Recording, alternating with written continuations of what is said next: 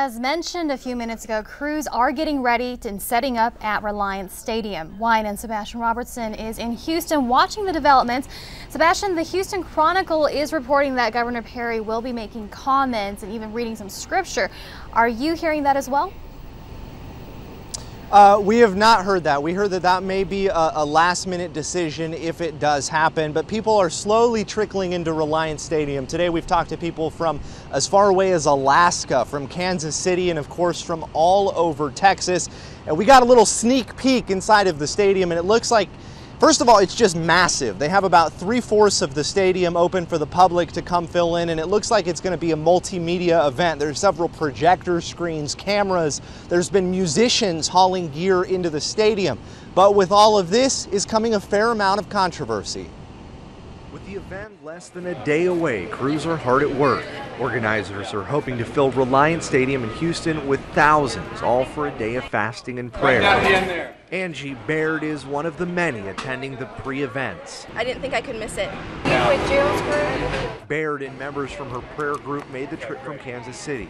They plan to spend Friday afternoon praying over the venue before the event. I think it's exciting that there's people that are looking to Jesus for answers for our nation and looking for hope that we'd regain morality and return to the ways of our forefathers. Governor Perry has failed miserably at that task of unification. But many are arguing the forefathers would disagree. He's not pastoring a church called the Lone Star State. Several groups joined forces in protest Friday. He is expected and required to uphold our Constitution and should take care not to muddy the waters, so to speak.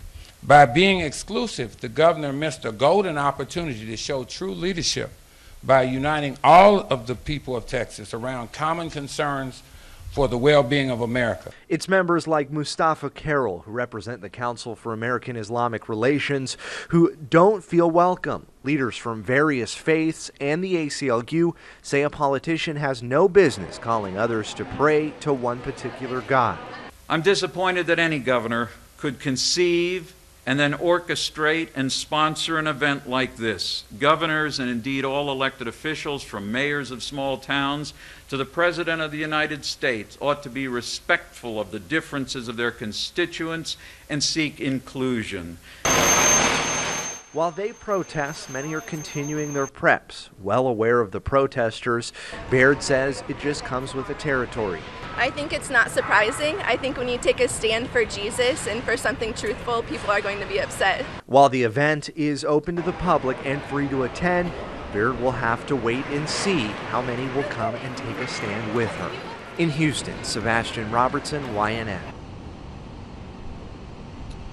And the protesters I talked to tell me they have no problem with a day of prayer. Where they have the problem is a politician endorsing a Christian day of prayer. While it is openly Christian, they are making moves to make it apolitical. While we were inside, we saw several signs discouraging people from wearing political t-shirts or uh, t-shirts with religious jargon on them. Back to you. All right, thank you very much, Sebastian. That was Sebastian Robertson reporting from Reliant Stadium in Houston.